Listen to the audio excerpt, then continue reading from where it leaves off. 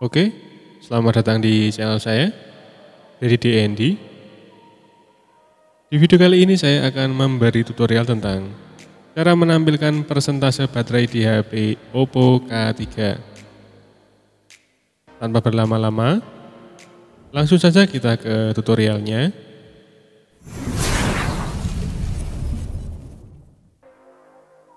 Langkah pertama kita buka pengaturan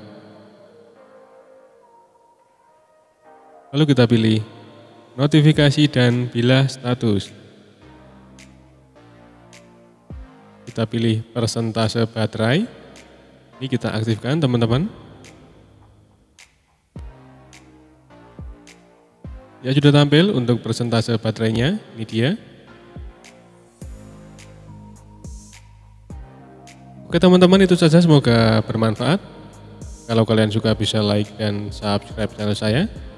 Terima kasih sudah menonton, sampai jumpa di video selanjutnya.